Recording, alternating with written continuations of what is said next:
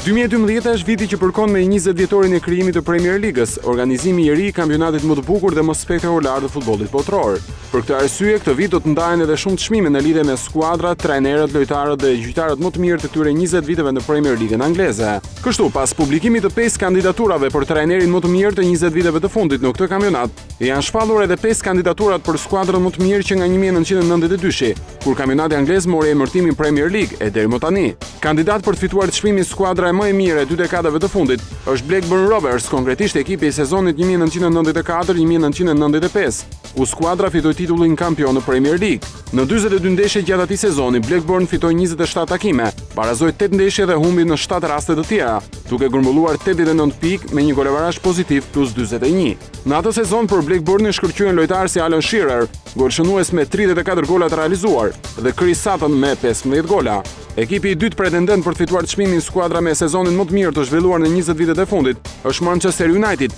që vjen me dy ekipe, atë të kampionatit një mijë e nëntëqind e nëntëdhjetë e tetë një mijë e nëntëqind e nëntëdhjetë e nëntë dhe sezonit dy mijë e shtatë dy mijë e tetë. Skuadra e Ferguson fitoi titullin në një mijë e nëntëqind e nëntëdhjetë e nëntë duke zhvilluar tridhjetë e tetë ndeshje, mes të cilave mori njëzet e dy fitore, dymbëdhjetë barazime dhe vetëm tre humbje. me një golavarazh pozitiv plus dyzet e tre, duke grumbulluar shtatëdhjetë e nëntë pikë. Në atë sezon Manchester United fitoi edhe Ligën e Kampioneve kundër Bayern Mynih, si dhe FA Cup, ndërsa kishte një brez të shkëlqyer lojtarësh si Peter Schmeichel, Gary dhe Phil Neville, Jaap Stam, Denis Irwin, Roy Keane, David Beckham, Andy Cole, Dwight Yorke, Paul Scholes e të tjerë. Ndërsa në sezonin dy mijë e shtatë dy mijë e tetë, djajtë e kuq u shpallën kampion pas tridhjetë e tetë takimeve të luajtura dhe tetëdhjetë e shtatë pikëve të grumbulluara, në njëzet e shtatë fitore, gjashtë barazime dhe pesë humbje. Ashtu si në një mijë e nëntëqind e nëntëdhjetë e nëntën, edhe në dy mijë e tetën Manchester United veç titullit kampion fitoi edhe Champions Ligën në finalen e Moskës kundër Chelsit, i ndihmuar nga yje si Cristiano Ronaldo, Wayne Rooney, Tevez, Giggs, Scholes, Ferdinand e të tjerë. Arsenali është një tjetër skuadër që është në listën e këtyre kandidaturave